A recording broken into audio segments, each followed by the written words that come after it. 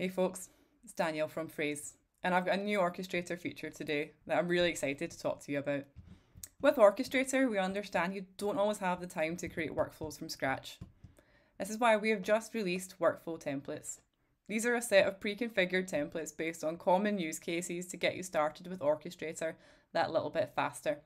You can import these pre-configured workflows from the library and get started right away. You can also configure them to meet your specific tailored use case. But let me show you a little bit how you can use that in Orchestrator. Imagine you've just logged into Orchestrator for the first time and you don't have any workflows configured. You can see you got a couple of options to get you started. And in particular, we're going to talk about the templates. You can see that's an option for you here with the visit template library or template library on the navigation bar, or even in the create option here for a workflow via templates. So as before, you can still create a workflow from scratch, or you can go to the, the templates if you want to get an idea of where to get started. So let's go to the template library. So here we are in template library and you can see six templates here. Each of these templates are based on our most common use cases, but we are all the time adding more templates as we anticipate your needs. But in this case, I'm going to look at one in particular just to show you how these templates work. So you can see each of these templates have a preview option if you want to know a little bit more about them. In this case, I'm going to select the preview for review QA flagged content.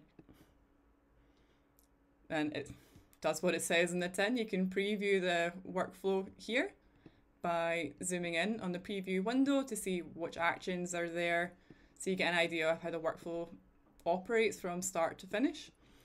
And if you're happy with this template, you can choose to import or you can come out of this and then preview more templates.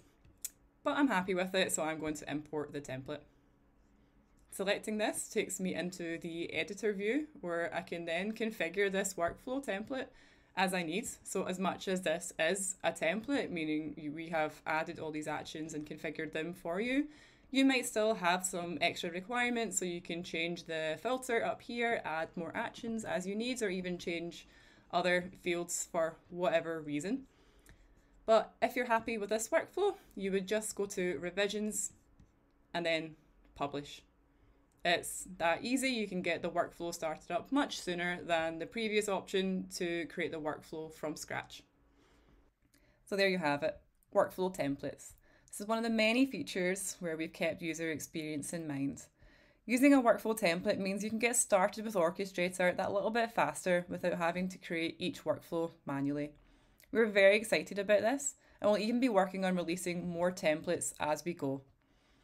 Thank you again for listening and I hope you have a great day.